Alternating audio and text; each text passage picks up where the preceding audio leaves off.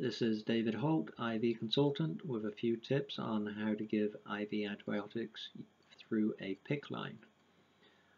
The same rules apply for another type of central line, so if that's what you have, please carry on and listen. A PICC line is usually inserted in the antecubital space, which is on the inside of the elbow um, and is good for anything from a month to six months. Most people do not keep it longer than six months because there's a slightly increased risk of infection even if you are having the dressing changed in a timely manner. So you are at home, your nurse has come in to advise you on how to give your antibiotics and you've learned from them and now you're doing it yourself. So you have some kind of device to hang your bag from. Attached to that is your IV tubing. You fill up the IV tubing with the antibiotic. You've, your nurse has decided to teach you to use a one IV tubing system, which is fine. Having filled up your IV tubing with the antibiotic, you flush your IV port appropriately and in an aseptic manner of course and you attach your IV tubing.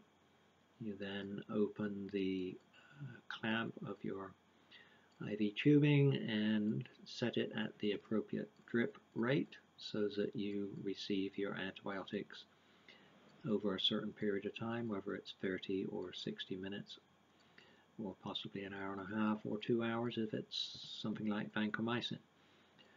So you've got, reached the point where the bag has emptied and most nurses will have advised you that when the bag is empty you are done. This of course has a basic flaw in that you have not yet received all of your antibiotic. 93% of the nurses that I've worked with over the last uh, decade never gave a full dose of IV antibiotics. So you as a patient will do much better than my colleagues who went to nursing school and were not educated appropriately by their instructors. So when the bag is emptied, because you have a PICC line, it will usually be a little resistant to fluid going in when the bag is empty.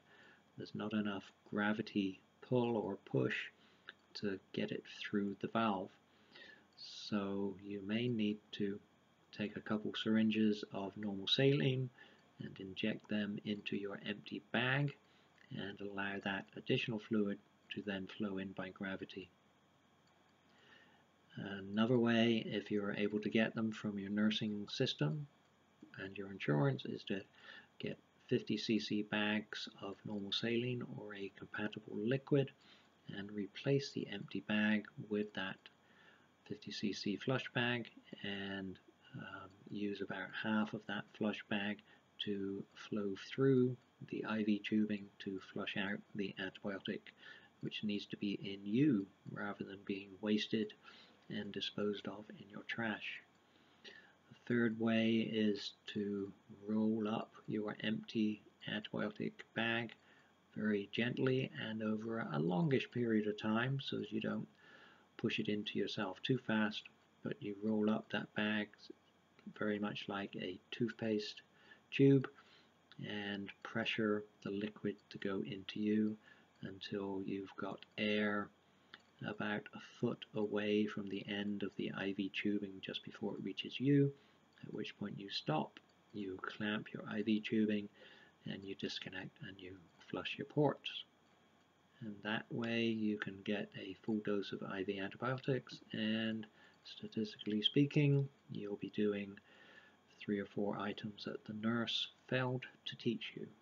So good luck.